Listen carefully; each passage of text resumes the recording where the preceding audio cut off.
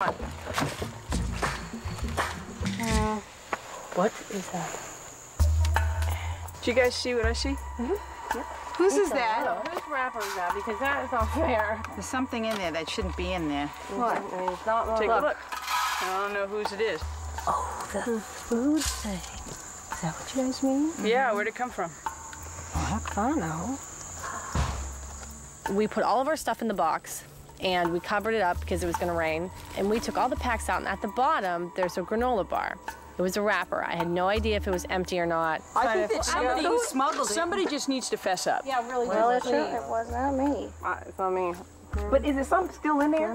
Yeah. Okay, I so do not think anybody would be out here starving and know they have I, that. And I would like someone to pick it up with a stick and throw it in the fire. First, it was like immediate anger, like, who brought this? You're not allowed to bring this. It's food. We're starving. You have no right to eat over us. We all agree, right? We're killing it? Job We're hungry, but we're gonna throw it away. We didn't hunt it, or kill it, or catch it, We don't eat it. Jaburu rules. It's like so depressing. Hey, we're all here to play the game of the fairway and, and starving. I agree. We ultimately burned it in the fire because it was definitely not fair. The guys didn't have one, we should not have had one. I don't really want to accuse anyone, but I mean, I, I, know, but I need to know what you know. Or kill it or catch it. We don't eat it. Jaburu rules.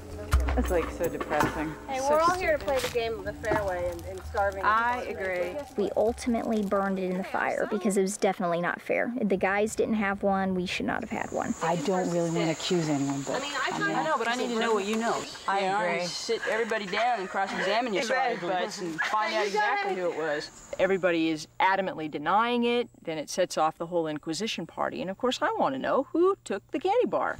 Jeanne saw the little candy bar thing inside of Janet's bag. And Jeanne doesn't want to just let it go. She wants to give Janet an opportunity to either say that it was her candy bar or deny it. I think even if she doesn't confess, I'll still think it's her. I think so, too. Exactly. I think so. The reason why finding the granola bar in our little chest upset me is because, you know, we came out here to play a game, play fair. We knew we weren't going to get any food. And uh, I don't like cheaters.